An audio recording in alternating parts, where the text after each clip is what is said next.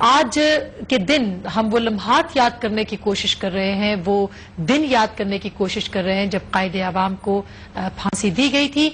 हमने इसी सिलसिले की एक कोशिश की है, गुफ्तगु की है कर्नल रिटायर्ड रफीउद्दीन से, जो कि उस वक्त स्पेशल सिक्योरिटी सुप्रिंटेंडेंट थे, और जानने की कोशिश की है कि वो आखिरी लम्हे क्या थे एक कायदे आवाम के कालकोठरी में। आइए उनसे पहले बात करते हैं और तफसीलात आपको बताते हैं।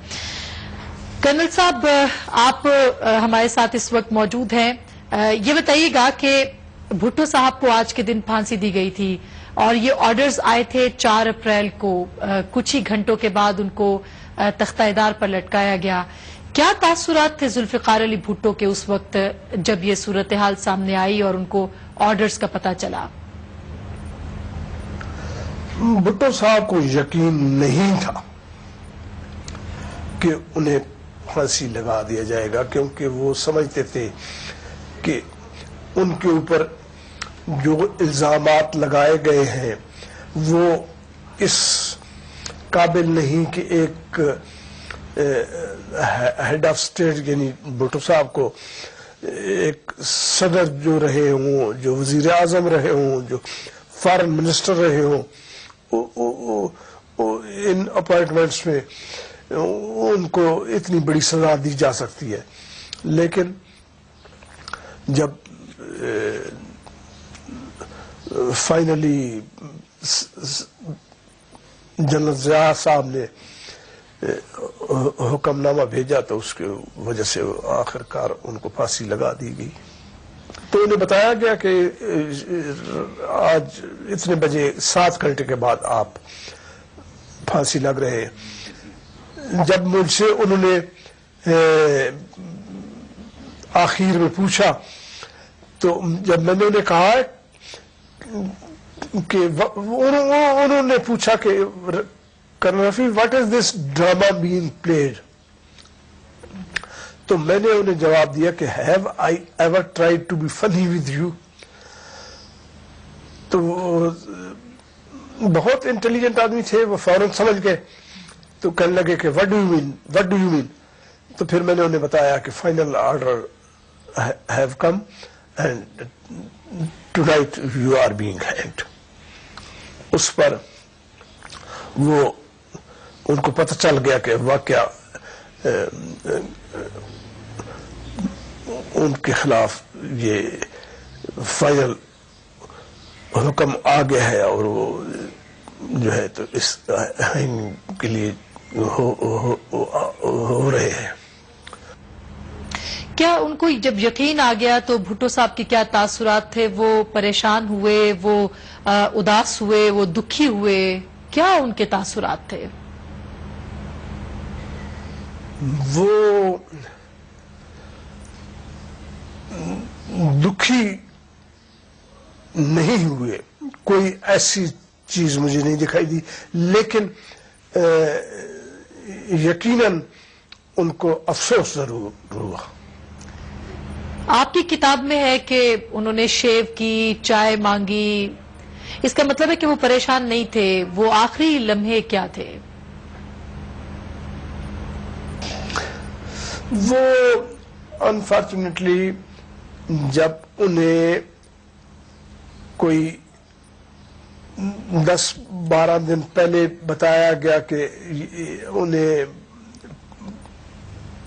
जो है तो कैपिटल पनिशमेंट मिलेगी। और उस वक्त उन्होंने उनके जो छोटा सा कमरा था, कोई साढ़े चार बाईस चार, या रफली तो उस कमरे में उनकी चारपाई वगैरह और वो जो भी बिस्तर था, वो सब कुछ उन्होंने, वो उन्होंने हंगर स्ट्राइक कर दी थी। नौ दिन भुट्टो साहब ने हंगर स्ट्राइक पे गुजारा। ये हैरान होते हैं, क्योंकि अभी थोड़ी देर आपके आने से पहले एक साहब, एक मुझसे पूछ रहे थे तो जब मैंने बताया कि नौ दिन तो वो कहने लगा कि कैसे, वो ज़िंदा कैसे थे? तो मैंने कहा, नौ दिन उन्होंने न कुछ खाया, न पिया, चाय तक नहीं पी, और बिल्कुल वो हंगर स्ट्राइक पर थे। नौ दिन जब उनकी हालत ये गुजरी तो उसके बाद वो बहुत खफीफ, बहुत कमज़ोर हो गए थे। और उस हालत में उनकी